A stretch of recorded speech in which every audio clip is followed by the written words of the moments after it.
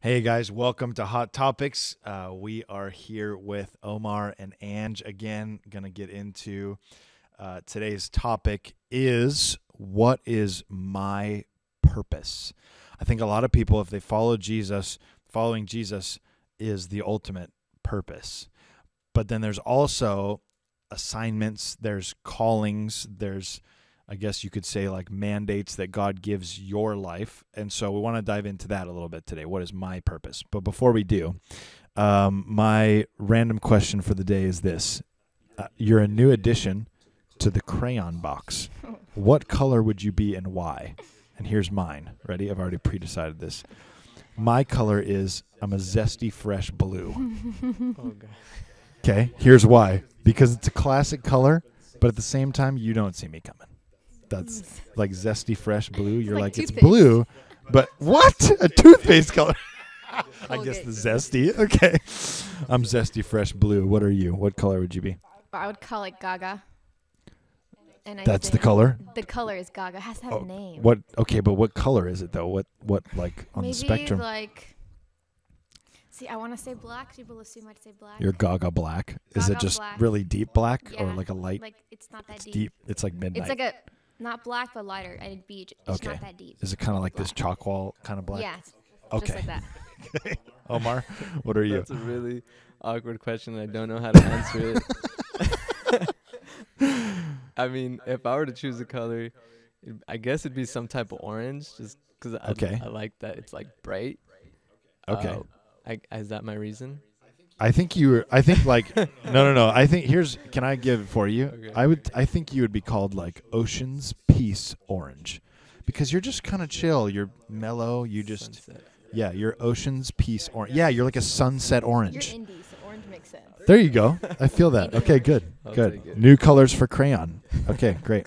Okay, let's talk about what is my purpose. So Jesus in in Matthew towards the end, he gives us what's commonly known as like the great commission, right? He says, "All authority has been given to me on uh, in heaven and on earth.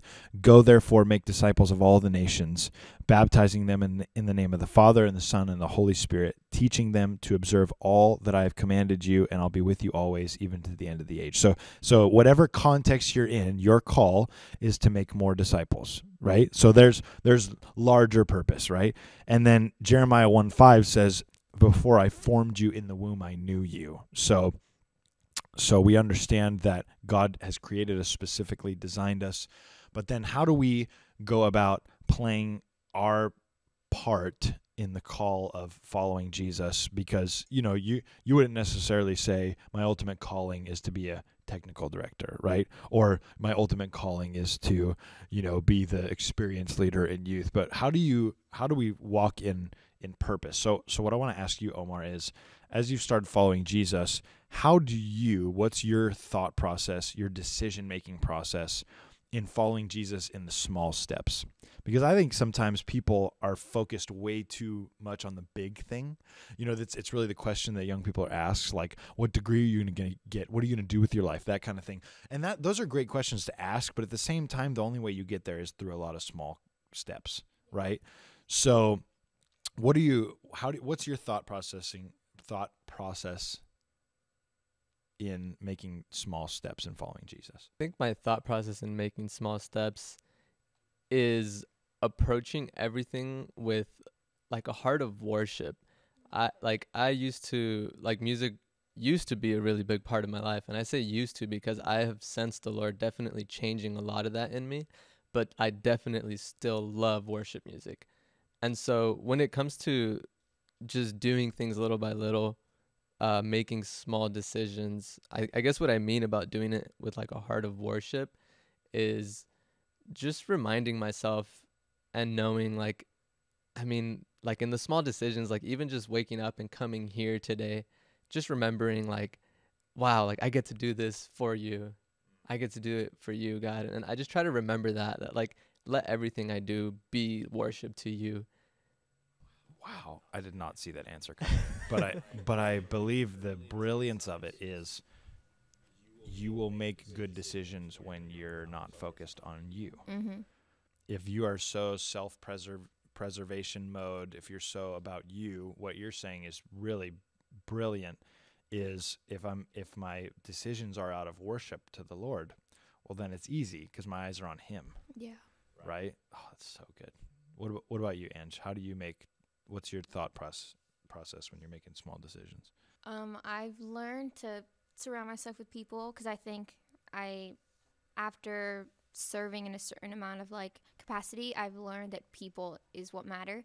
Yeah. And I've learned now that I, okay, Jesus, I love you and I'm all for that now, but like help me love your people. So I think being surrounded by the right people would help me figure out the small things because there's people in like my close friend group where they see big picture and some of us see small picture. So having that like diversity of like both because there's days where I'm focusing on this little thing and then they're like, you know, it's not big of a deal because at the end of the day, like having people, I think is what matters. But I think first you have to be okay with when you serve, you're doing it unto Him, and then you serve amongst people and you serve people who He puts, you know, you around. So I think what helped me is like the people that I put around me because, like, the only thing you can take with you to heaven is people. That's right. So I just want to do that, you know, and God's there's so many people in this world, but like God gives you those people and you have to pray for that stuff. And I think that's the next level I did when serving. yeah. Being locked in with the right people is crucial. Yeah. I feel like even now more than ever, if we cannot, I, I say this so many times, I feel like it gets old for people maybe, but the image of the cross is my vertical relationship with Jesus and then how I live it out with people on this earth. Yeah.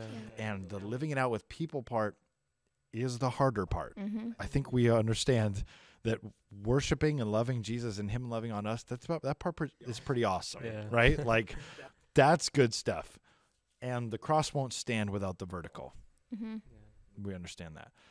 The horizontal part, though, the working through issues, the loving people, but also getting the right people around you Yeah. is crucial to continuing to follow him. The Bible says, "Woe to him who who is alone when he falls," right?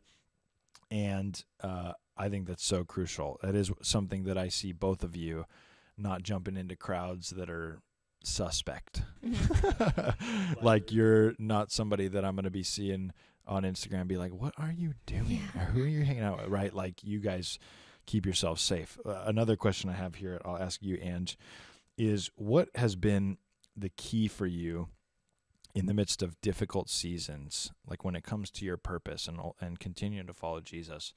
What is what has been the key for you, or a key for you, in the midst of difficult seasons, continuing to pursue Him?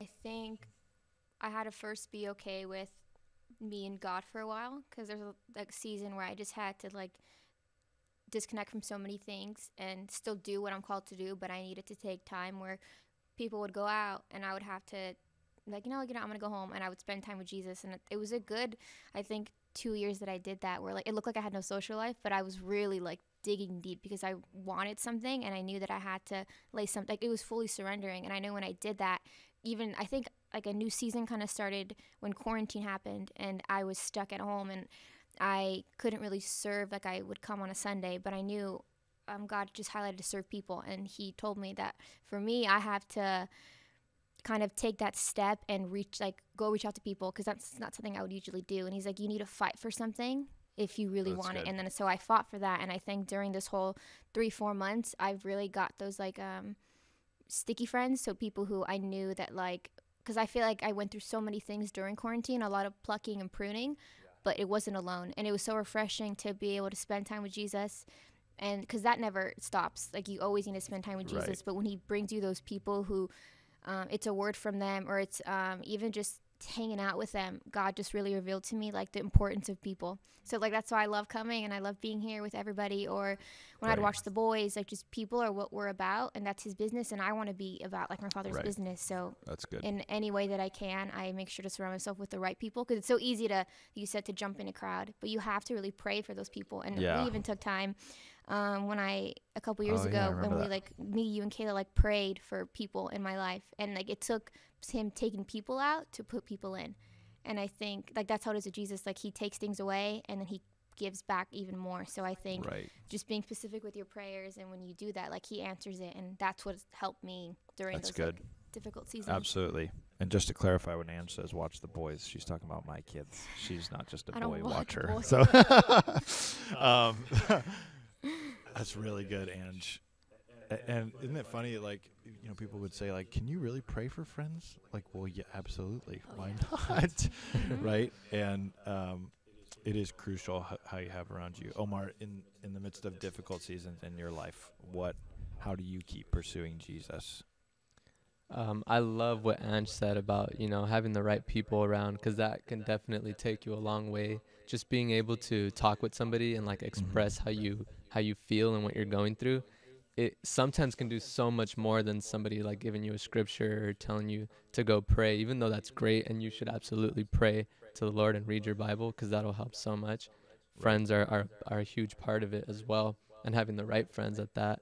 Um, uh, so for myself, I, I totally agree. Like having having the right people with me, uh, definitely helps me pursue, um, and continue going on and following Jesus. That's good. And I think just another thing, um, is just keeping hope in my heart, keeping hope, Mm. knowing that, uh, you know, the Lord has given us great promises, and that alone, I just try to focus my mind on that. You know, the Bible says to to focus on what's true, what's good, That's it. and so just try to keep focus on, you know, what is Jesus doing for me? Like what do you have next for me? And just keep keep looking forward, you know? Like there's no there's no um purpose in dwelling in where you're at or even looking at the past. Like just let those things be and keep your eyes on Jesus, knowing Wow. he still has something more. He always has Wow. something more. There's so much more waiting. Right. And boy, that word that you said, keeping hope in your heart, Yeah. is that is like radical what needs to happen for the young people of this generation because when you're hopeless, that is what causes so much of this anxiety, depression. Oh, Because yeah. if you're hopeless, I mean, there's so many situations in my life, even in the midst of getting into this whole pandemic quarantine time. I would thank Jesus so often, like Jesus, I everything could be taken away from me right now, and I'm still good because of you. Yeah. Like I, I am fine. Like I, my job, I could lose my job, I could whatever, but I know you're gonna. I have hope in you, right? Like I have a way to you, and that word, when you can keep hope in your heart, keep. It's not just staying positive, but hope. The Bible says hope deferred makes the heart sick. Mhm. When you when you don't have hope in something, there is a there there is a sickness in this generation, and it's a lack of hope Yeah. it's a lack of hope that I have someone or something that I can look to. When Jesus is not present, there is no hope. You do not have any hope. I mean, uh, Mhm. you know, it's funny as I actually in the last like week or so, I don't know why, but I got like really into action movies. I I realized that I had not watched all of the Garden all of the Avengers movies. I had not watched a couple of the Guardians of the Galaxies. And then I watched like a Mission Impossible. Okay, so for some reason I got really into action movies for a few days. And and I realized, you know, when you see a movie, especially especially Avengers, I mean, like Infinity War was the worst ending of a movie ever, right? It seemed like there was no hope, Uh-huh. right? So many action movies, when you're watching them, they they the whole point is to take you on this emotional roller coaster and to get things so bad, there's no way out. I mean, Infinity War is the is the is the quintessential movie for that, where it's like you know Doctor Strange calculates or whatever that there's one chance out of the however many millions of possibilities, right? There's no hope. There's barely hope, but in a sense, the movies take you to this place where there's no hope. How are you going to get out of this? Well, what's funny for me is whenever I'm watching a movie, I love to get lost in the movie at the same time I have a brain. So when you're 30 minutes when you're 30 minutes into the movie and it looks like there's no hope, you realize there's still an hour left in this movie. I have hope in the fact that this this thing's not over. right? And maybe that's a word of encouragement for somebody who's even listening that hey, um, you're still alive. This thing's not over. There's still time, right? I think when you're young, you you feel like everything matters so much right now.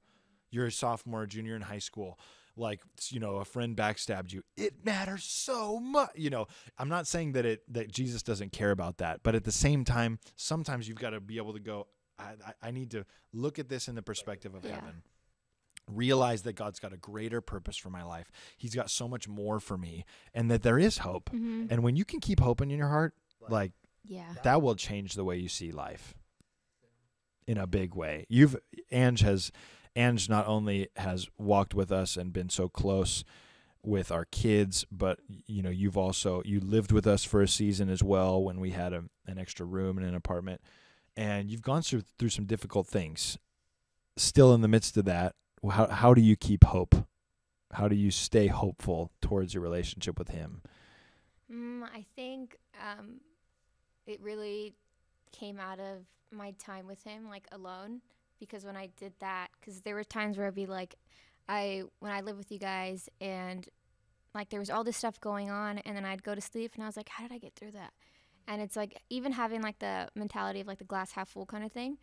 Because I'm someone that like before like knowing Jesus, I would like something like little happen, it would like mess with me for the rest of the day, and like I can put up a front and but then eventually it would like explode like a ticking time bomb and i like ask god like let me not like what's important now let it be important now like i need you to like really give me that discernment like holy spirit like come in and help me you know? Like i really had to it's an everyday thing asking and especially um, there's this like little like inside joke we have with our friends we say like it's not that deep and in reality like i really learned like it's one day i was driving like it's not that deep. Like there's things where i would um it was something small and i would dwell in it and i was like it's not that bad you know and i was reading this book even just like the title got me but it's like having living life with eternity in mind and that was already like where something Yes. happened or let's say i was like um, doing something with someone i said the wrong thing or i just messed up by accident like not letting that define me and like i can make it better but i can't like the amount of time i could be wasting doing that Yes. you know and if i can do it now do it now and pastor david said it like a long time ago when i was an internship and he's like if you could do something now do it now and i'm like if i cannot dwell now i'm not going to dwell now if i can keep going like i'm going to keep going That's right. so i think taking that and it totally shifted my perspective it was just like a I love little that. bit too but ever since then it's been like a game changer for me and i just Yes. take the time and it's Yeah. not that deep you know Because the reality is most of the world is way worse off than we are yeah as a, as people in America.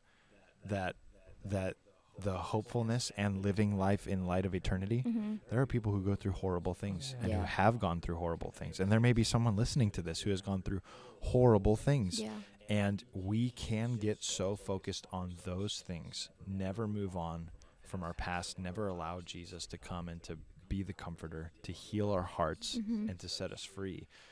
But when we keep in mind, it's it's much easier to press through difficult things when heaven's on your mind yeah right? It's much easier to press through things when you when you remember like i'm bringing people with me to heaven Mhm. right? Or or or i'm going to spend eternity with him. These things are temporary Yeah. right? Um uh my dad used to have say this. He said skin grows free but it hurts. So basically saying that like yeah you can get you can get you can get a scrape on your knee son. You can get something yeah it might hurt but it's temporary. Yeah. And that sometimes we are so focused on the pain that we are not focused on the other side of it, the hopefulness, the realizing that this too, this too will pass. I will be on the other side of this at some point.